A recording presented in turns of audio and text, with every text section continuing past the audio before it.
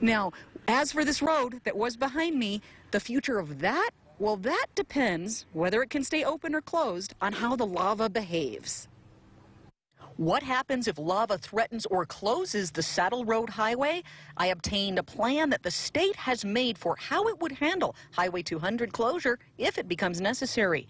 The current plan delineates closures near the 8 and 21 mile posts, enforced and manned, and signage on the feeder roads in all directions. Again, this is just a plan.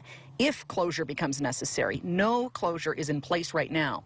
I also talked with Ken Hon from the USGS and Hawaii Island Mayor Mitch Roth about this and how likely it is to be triggered and possible timing. Hon said it could be a matter of days, depending on variables. Depending on speed and also what the lava does when it hits the flat. It could continue to move as a channelized uh flow, in which case it wouldn't spread very widely um, and it would reach the, the uh, highway faster, or it might actually spread out as pahoehoe, in which case it could spread over a big area and that would slow it down significantly. I also asked the mayor how the county is planning around possible closure of a major island thoroughfare. We've been meeting with all of our partners. One of those partners is the State Department of Transportation, and they've come up with some plans.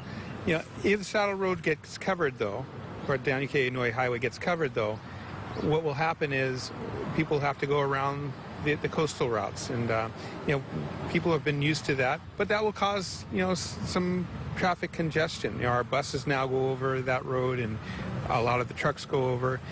Um, luckily, right now, um, the bridges that we've been working on that have prevented trucks and buses from going over those uh, those bridges, they are within days of being completely repaired, and so we'll be back to 80,000 tons of vehicles being able to go over, for example, the Nui Bridge on the Hamakua coast, which has been out uh, for several months.